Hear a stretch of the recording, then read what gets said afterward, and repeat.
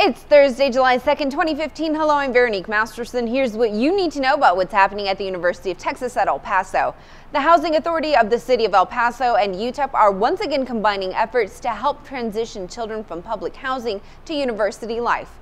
The sixth annual Higher Opportunities Thrive or Hot Summer Conference involves about 400 middle and high school students living in public housing who visit the UTEP campus for one week.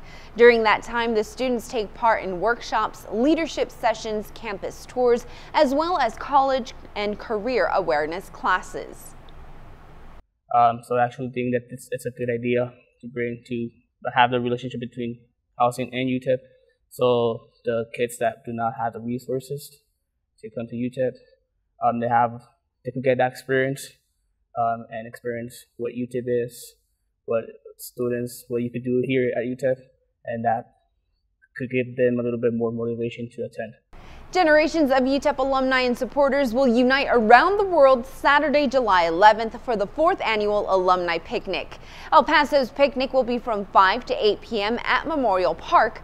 Those who want to attend are asked to RSVP to UTEP's Office of Alumni Relations by Wednesday, July 8th. Food, drinks, and entertainment will be provided. Visit alumni.utep.edu to RSVP. For more information about these and other stories, check out utepnews.com. I'm Veronique Masterson. Go Miners!